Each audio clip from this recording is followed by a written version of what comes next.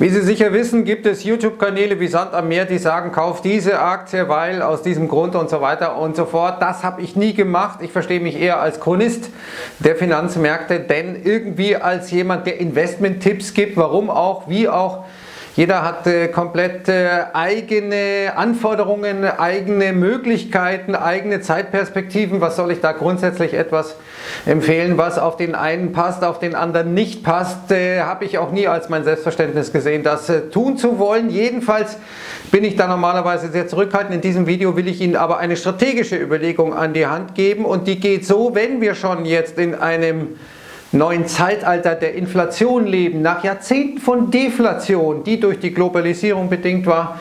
Arbeitskräfte, Jobs wurden ausgelagert, woanders wurde günstiger produziert, das Zeug wurde dann zeitnah geliefert, wenn wir es hier gebraucht haben. All diese Zeiten sind vorbei, wir erleben eine Deglobalisierung. Wir erleben, wie wir jetzt in ein inflationäres Jahrzehnt wahrscheinlich reinkommen mit dauerhaft hohen Preisen, vor allem für Energie.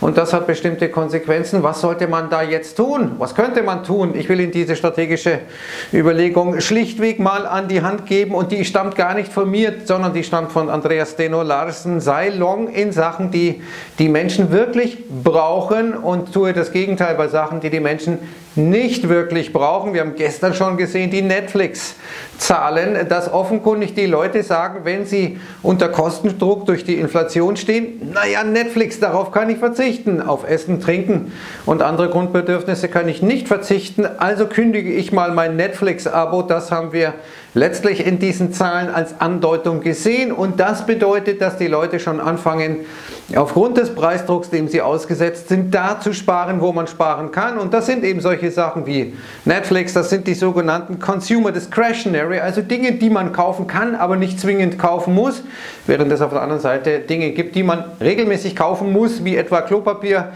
äh, das sind die sogenannten Consumer Staples. Und wir sehen, dass es hier durchaus jetzt eine immer größere Lücke gibt zwischen diesen Consumer Staples, also diesen sehr defensiven Grundbedürfnissen oder Unternehmen, die meistens sehr langweilig sind, weil sie äh, Dinge herstellen, die für die Grundbedürfnisse der Menschen wichtig sind, während äh, andere wie Tesla zu dem Bereich äh, Consumer Discretionary gehören, die also sexy sind, die in irgendeiner Form Wünsche, Träume wahrmachen sollen, etc. Hier sehen wir, wie derzeit jedenfalls Consumer Staples besser läuft als Consumer Discretionary. Hier sehen wir mal die Entwicklung gestern an den Märkten. Dow Jones war positiv, S&P mehr oder weniger kaum verändert, Nasdaq Tech-Werte waren schwach und wenn wir unten jetzt mal gucken auf ähm, das, was an Sektoren gut gelaufen ist, dann sehen wir Real Estate, Consumer Staples, defensiv, beides.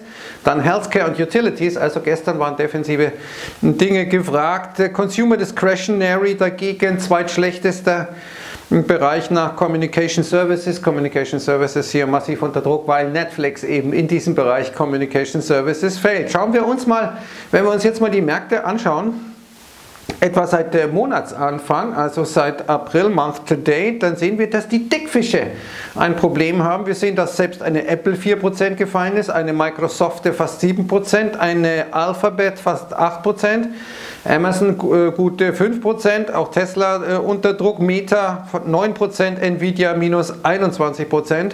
Das heißt, die acht größten Aktien, die auch in dem Russell 1000 Index ähm, ähm, versammelt sind, die haben durchschnittlich etwa 8% seit Monatsanfang verloren, während die anderen Aktien, der Rest der Aktien nur 0,08% verloren hat. Das ist ein kleiner Unterschied zwischen minus 8% und minus 0,08%. Das zeigt, dass sich hier offenkundig etwas verändert hat in der Zeit der Deflation, der Globalisierung waren es die Tech-Dickfische, die hier die großartige Performance geliefert haben. Jetzt in einem inflationären Umfeld möglicherweise nicht mehr.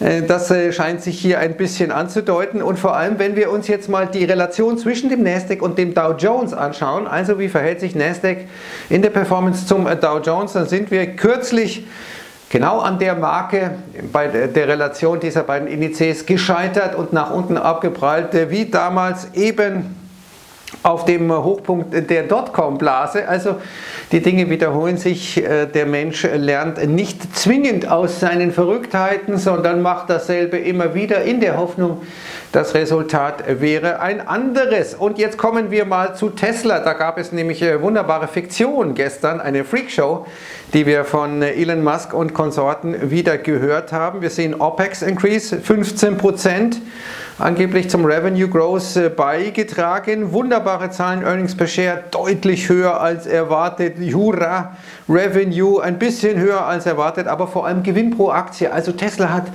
äh, offenkundig eine richtig, richtig gute Marge erzielt, oder?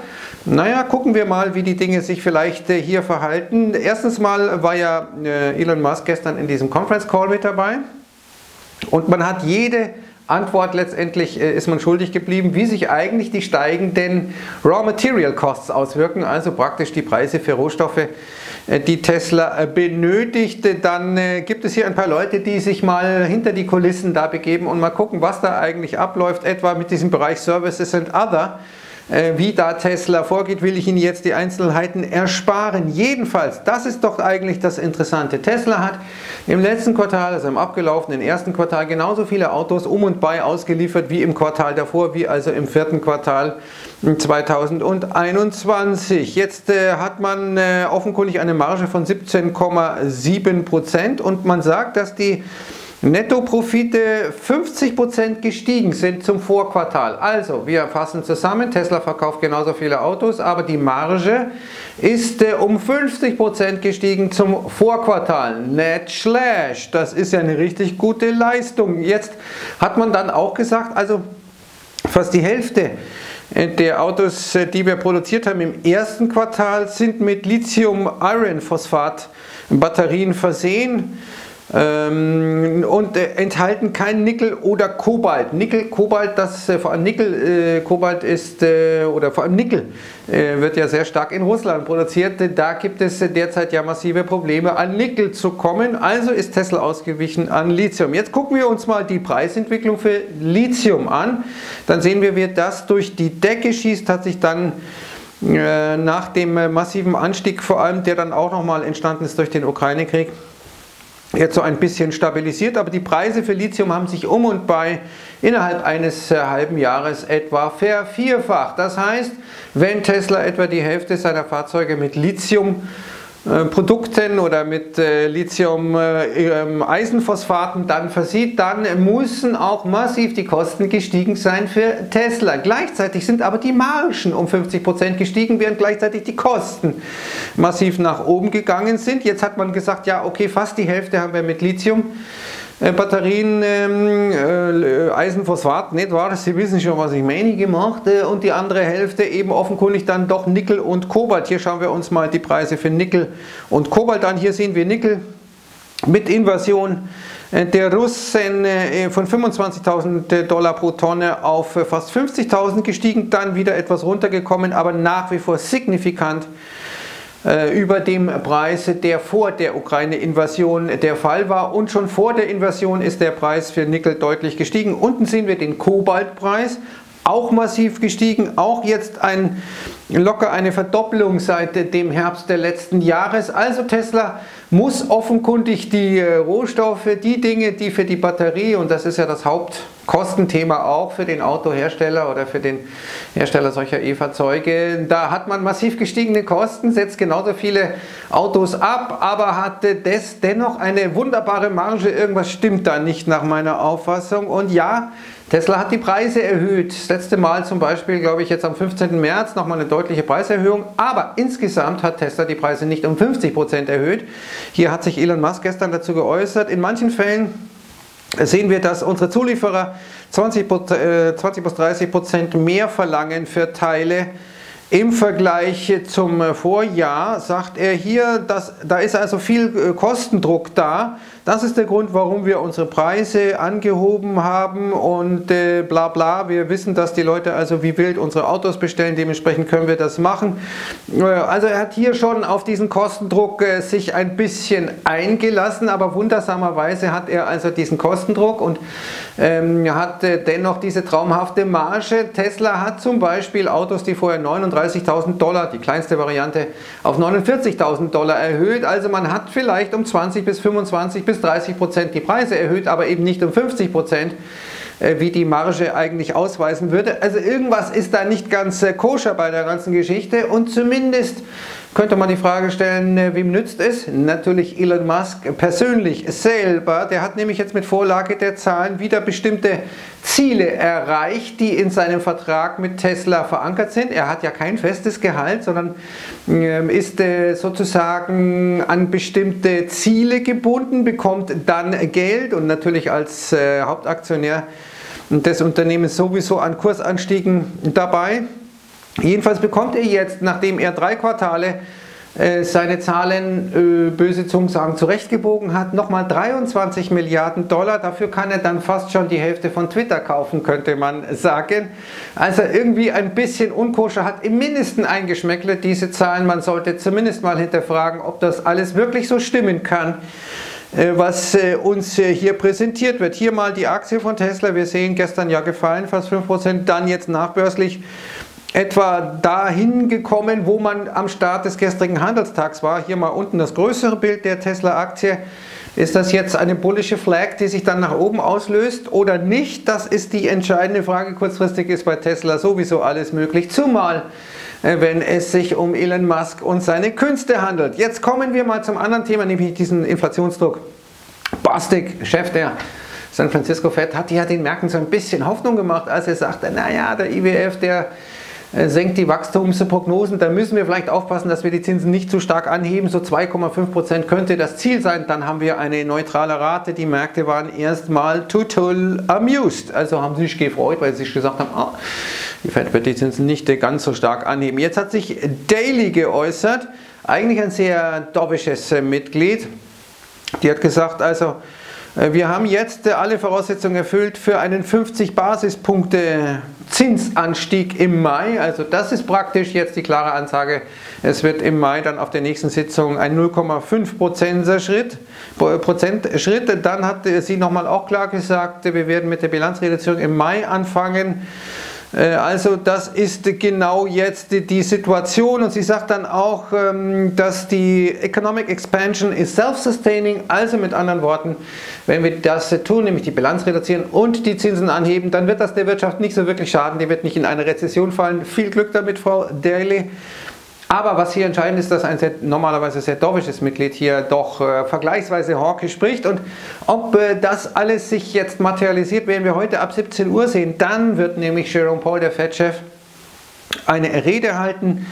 Äh, lustigerweise bei der Volker Alliance and Penn Institute for Urban Research das heißt, hier ist ja der Schreck äh, der Wall Street, Paul Volcker, der damals die Zinsen so massiv angehoben hat, um die Inflation zu bekämpfen. Da wird äh, hier Paul also eine Rede halten. Und Paul, wie auch Brainard, also Fed-Chef und Fed-Vize, waren zuletzt ja massiv hawkisch immer wieder. Also 17 Uhr bei Finanzmarktwelt werden wir schauen, dass wir das live bringen als Live-Feed, wenn es möglich ist, und mit der Live-Kommentierung da mal unbedingt reinschauen. Äh, was der gute Mann sagen wird. Und Präsident Biden wird sich heute auch dazu äußern, zum Russlandkrieg, zum Thema Infrastruktur und zum Thema Inflation. Ich glaube 1545, also auf jeden Fall nicht zu spät. Deutscher Zeit wird das passieren. Jetzt hat Biden gesagt, ich weiß, dass Familien äh, vor, vor, allem Familien, viele Familien aufgrund der höheren Preise durchaus leiden. Ich selbst bin in einer Familie aufgewachsen, ähm, in der es so war, dass wenn die Preise für Gas, also für Benzin, ähm, deutlich gestiegen sind, dann haben wir das sehr stark äh, bemerkt. Äh, und äh, lass uns absolut klar sein, warum die Preise so hoch sind. Covid und Wladimir Putin. Nein, die Notenbank Fed hat damit gar nichts zu tun und die Geldmenge ganz sicher nicht. Und Biden wird auch die Republikaner jetzt attackieren, indem er sagen wird, ja, ihr habt doch gar keinen Plan in Sachen Inflation. Wie wollt ihr denn die Inflation nach unten bringen? Vielleicht hat er da einen Punkt. Auf der anderen Seite sehen wir aber auch, dass eben vieles dessen, was äh, Biden vorhat und machen will, hochinflationär ist. Erstmal dieses Build Back Better Programm mit sehr vielen Umweltauflagen, die dann das Ganze noch viel teurer machen. Clean Energy. Äh, dann äh, wird zum Beispiel Studentenschulden sollen erlassen werden, Eviction Moratoriums, also praktisch Aussetzung von Zwangsversteigerungen. Biden selbst setzt sich für mehr Gewerkschaften und für höhere Löhne ein. Auch das ist durchaus preissteigernd. Die Sanktionen sind preissteigernd, die Zölle sind preissteigernd und natürlich das Free Money, das durch die Fed gegeben wird. Das aber jetzt enden soll. Biden hat Paul klar gesagt, bringen wir die Inflation nach unten. Und da bin ich mal gespannt, was da heute passieren wird. Wenn wir jetzt nochmal zum Ukraine-Krieg zurückkommen und zu diesen Rohstoffen und Lieferengpässen, Materialmangel, inflationäres Jahrzehnt, wer ist denn da am stärksten betroffen? Da gibt es eine Analyse von Bloomberg Analytics und Nummer eins ist Türkei. Nummer zwei ist Ägypten, dann Vietnam, dann die Philippinen, dann Polen. Also das sind diejenigen, die am stärksten gefährdet sind, eben durch äh, Anstiege für Lebensmittel, Anstiege für Energie und Anstiege vor allem auch der Zinsen, Zinsen durch die Fed. Das sind sozusagen hier die Vulnerablen, da werden wir heute was dazu machen. Und ähm, abschließend noch ein Hinweis auf China. Da hat man nämlich äh, so viel Stahl aus äh, Russland äh, importiert wie schon lange nicht mehr. Doppelte Menge im Vergleich zu dem Vormonat jetzt im März. Also das wird von den Chinesen gekauft. Xi Jinping hat sich nochmal geäußert, indirekt, indem er gesagt hat, also Länder von der Supply Chain, von den Lieferketten abzuschneiden, das äh, durch andere Länder, das wird nicht funktionieren. Das ist eine Kritik an den Sanktionen des Westens gegen äh, Russland, ohne dass er Russland äh, persönlich erwähnt. Allerdings macht ja China genau das zum Beispiel mit Australien, wo man kein, keine australische Kohle faktisch kauft, keinen australischen Wein mehr faktisch kauft, etc. Und wie gehen wir mit der Inflation um? Der Belgier Wunsch hat jetzt gesagt, ja, wir könnten das Jahr beenden mit positiven Zinsen. Was? Positive Zinsen und das kaum hast du eine Inflation von 8% schon, wollen die die Zinsen von 0 auf 0,25% anheben. Krass! Also da wird richtig scharf geschossen. Im Übrigen bin ich der Meinung, wir sollten die EZB abschaffen. Vielleicht wissen Sie das und will nochmal verweisen auf zwei Artikel. Wie schaut es jetzt eigentlich aus mit Gold?